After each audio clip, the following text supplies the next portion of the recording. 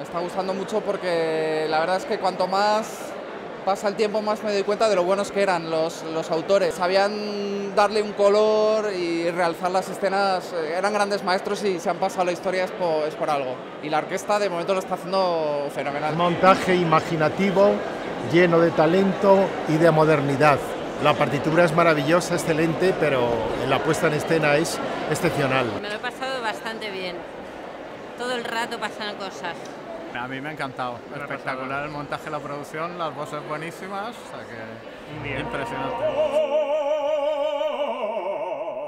La caracterización del personaje del diablo, el Fausto como científico, me gusta mucho el uso de los colores. Creo que es una adaptación bastante buena, porque no, no se ve forzado. No son imágenes simplemente ahí para impactar, sino que, que, que hay una, una cierta coherencia en lo que se ve y, y, encaja bastante bien con la historia, yo creo. La verdad es que he venido porque me ha invitado una amiga y no tenía ninguna referencia. Ha sido un poco así como sorpresa y, y he salido bastante conmocionada. Es una historia como poco tradicional en el sentido de la culpa, el bien y el mal, todo esto, pero la escenografía es como tan futurista y tan moderna que como esa mezcla, ese choque me parece muy bestia. Entonces nada, la recomiendo muchísimo y la he disfrutado mucho, mucho.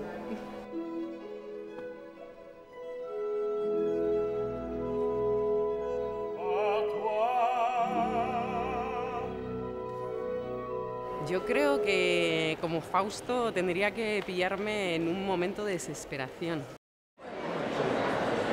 Pues no sé, por, seguir toda la vida con mi mujer, por ejemplo. Debería de ser una cosa muy grave para que yo vendiera mi alma al diablo, porque si no, yo creo que no es muy buena idea. Por el bien de otra persona, por salvar a otra persona, porque no se me ocurre algo que pueda yo desear con tanta intensidad. Por la vida de mi hijo, por ejemplo. Complicadísimo.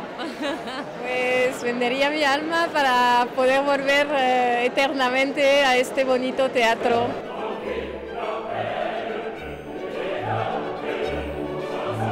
Si me ofreciera el diablo vivir mil años, pues a lo mejor sí que me lo pensaba. En mil años da, da tiempo a hacer muchas cosas.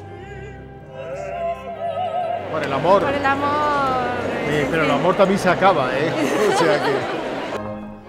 Por cumplir tus sueños, ¿no? A mí me gusta mucho el teatro, pues me encantaría a lo mejor poder actuar en algún sitio, cantar también, algo así. Entonces yo vendería el alma al diablo.